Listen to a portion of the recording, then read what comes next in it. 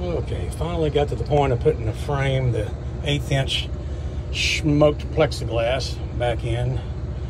And so this is the beautiful thing. If you pull them nasty old Phillips head screws out, then you've got these.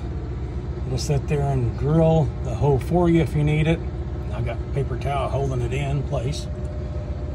Take a hole that's wobbled out, and won't take. I did a new one here on this and it'll it'll drill it it'll go right in it. They're beautiful. They're wonderful. There.